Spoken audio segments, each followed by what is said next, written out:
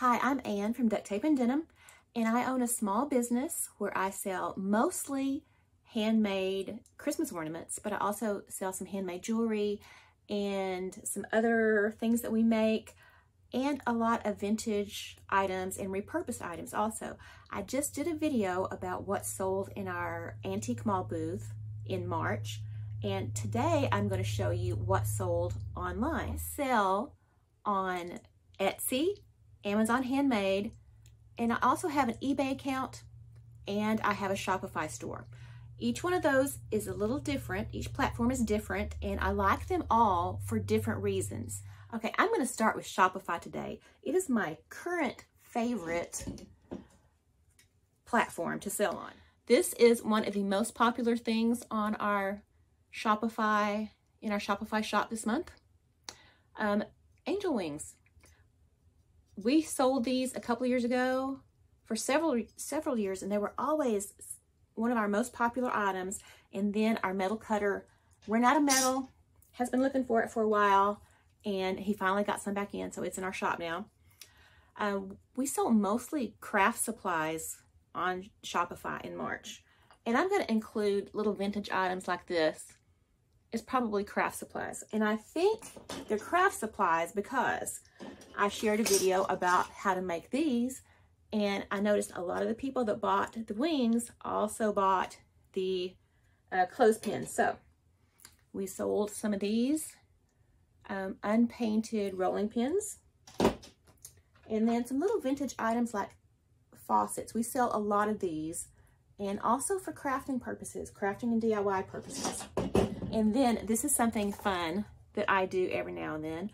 It's a mystery box full of vintage Christmas supplies. I sold one of these in March. So somebody out there is doing some Christmas crafting already. I think I've got three left. So they're over there. I sold one keychain. Keychains used to be a big seller for us and now they're not. So they're just kind of sitting there, usually on sale. So if you need a keychain, go over and look in our Shopify shop. And I do that a lot with Shopify so that I don't have to pay the listing fees on Etsy or Amazon or eBay. Just leave them in my Shopify shop. All of our t-shirts are on Shopify. So we sold 15 t-shirts last month. This was the most popular, so I'll pull this one out. What you gonna do with all that junk? All right, what else did we sell? Um, 29 different craft supplies, 15 shirts, 13 vintage items, five different pair of earrings. I didn't bring any of those out, but here's my favorites that we sell on, on Shopify. Um, three necklaces, including the coffee necklace, which I think I think I sold some coffee necklaces on every platform this month. This is a really good seller for us, the coffee necklace right there. I um, also sold some stickers, and I'll see if I can drop a picture of the stickers in. And also we have a few home decor pieces that um, we have left over from when we sold at Canton. These are things that I bought wholesale and I still have some left. So they're sitting there in our Shopify shop.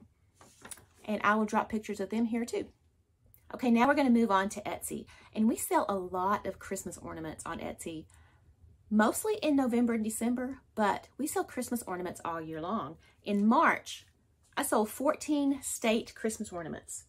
And we have Christmas ornaments for every state. I also sell these on Shopify and Amazon Handmade, but on Etsy, they sell more all year long. Okay, so that's a state. We have some, all 50 states. Some states we have large and small. Uh, one other Christmas ornament, two windmill ornaments. Now, these are not necessarily Christmas. I mean, I know people put these, have told me that they buy them to put in their um, tiered tray decor, stuff like that. So they're not only Christmas. I also saw sold three dog ornaments. This is a little Scotty. We have like 13 different breeds, I think.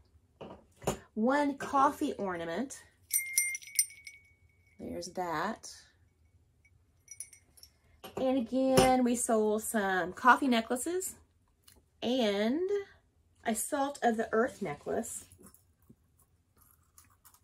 This is one that has been popular on Facebook every time I share it.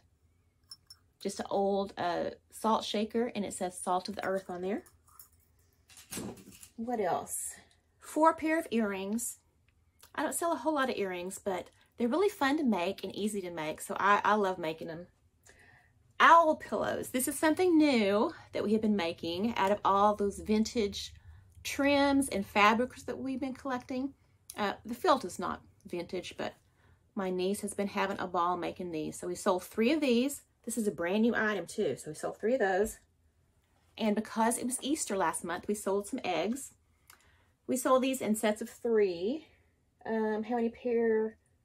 Oh, I only sold one, one set of these. But I sold a lot of hearts still. We started making the chenille hearts for Valentine's Day. I'll have to put a picture up here because we're currently sold out.